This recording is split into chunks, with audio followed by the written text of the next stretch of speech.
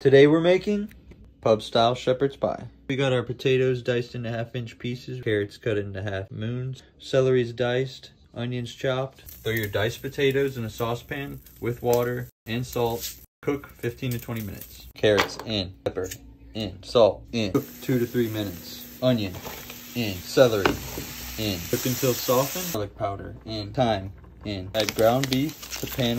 Add salt and pepper.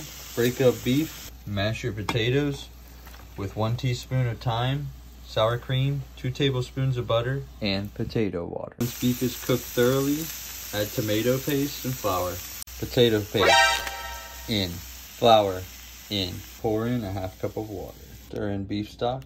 Bring to a boil. Top beef mixture with an even layer of mashed potatoes. Sprinkle with white cheddar. Broil it until browned. Once it's brown, serve from the pan and enjoy.